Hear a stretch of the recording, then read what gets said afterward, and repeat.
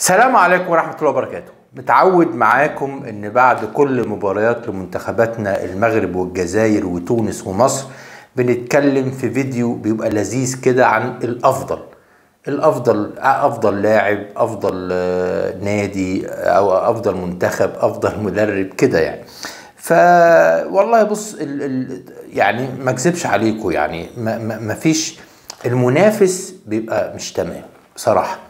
تونس آه، مع احترامي ليها ما بتلعبش سنغال ولا كوت ديفوار ومع ذلك كانت مش تمام.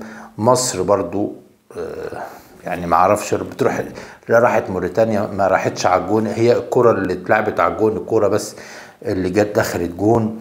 آه، الشناوي أنقذ. يعني إحنا عشان أقول الأفضل دي لازم يبقى المنافس بتاعك يعني فعلا بيبقى عليه مقياس إن إحنا ناخد درجة أو نقول فعلا المنتخب كان مميز. ولكن برضو هتكلم آه، اولا هتكلم بس على تونس. آه، الواحد حزين على مستواه جدا يعني. اللي فيه إهمال في الدوري التونسي وكنت متابعه.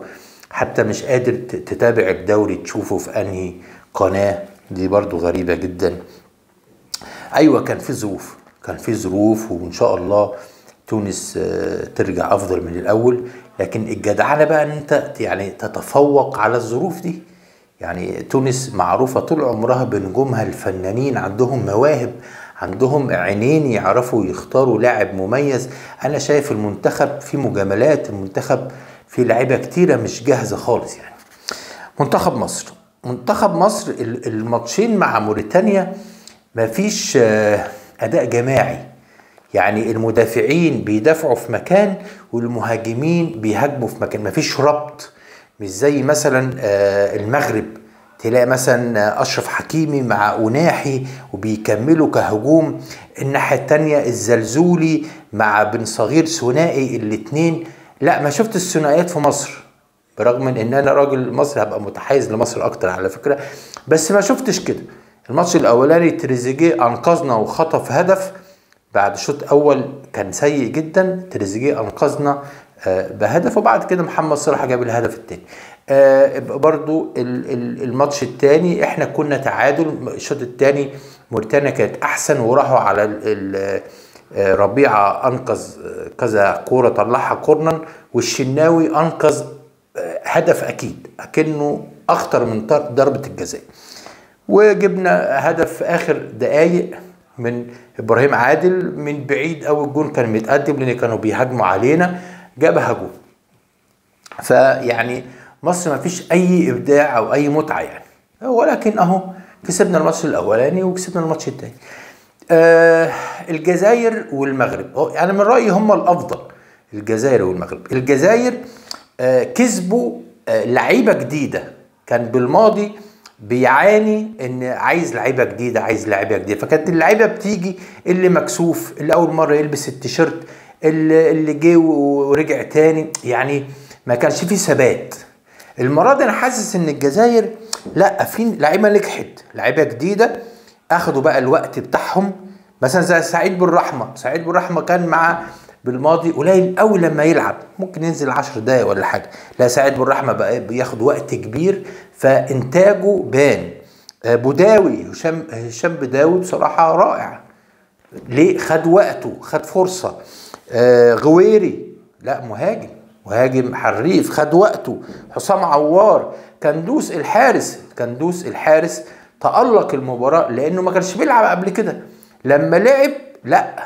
آه غلط غلطتين كده في الشوط الأول لكن الشوط الثاني كان هو نجم المباراة. آه فدي من يعني اللي نقوله للجزائر إن الجزائر اللعيبة الجديدة بتاعته لا منورة. وطبعا في لعيبة كتيرة ما شاء الله جديدة نورت يعني. آه المغرب. شوف آه دياز إبراهيم دياز مصاب وغايب. آه زياش برضو في إصابة أو غايب. لكن اللي موجودين عفاريت ما شاء الله منتخب المغرب والركراكي آه تتحسب له دي إن عنده فرقتين عنده فرقتين اللي يلعب فيهم أحسن من التاني. بصراحة عندهم مواهب آه، اناحي آه، مع حكيمي عاملين جبهة ثنائية بالعمري مع الزلزولي مع بن صغير في جبهة.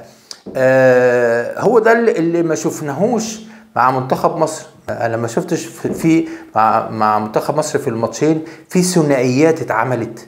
في لعبة مثلا 1 2 مع مع اتنين زمايل اتقررت. لا ما شفتش. لكن شفت اناحي مع أشرف حكيم آه، في أشرف حكيمي رقص لجوه عملها لاناحي واناحي راح حاططها له. أشرف حكيمي راح مسجلها جول في ثنائيات بتتلعب. فالأفضل أنا شايف إن ال- الجزائر والمغرب المغرب تتفوق شوية عشان اللعب الجماعي لكن الجزائر برضو من الأفضل لأن في لعيبة كتيرة اكتسبت الثقة جديدة وده اللي كان ناقص الجزائر إن كان عايز جيل جديد ودلوقتي الجيل الجديد بيلعب وبياخد الثقة. أهم حاجة مش لعيب جديد وخلاص لا لعيب جديد بياخد الثقة. والمغرب طبعا ما شاء الله في الثنائيات والفورمه العالية واللعيبة كمان الجديدة ما شاء الله عليهم. شكرا.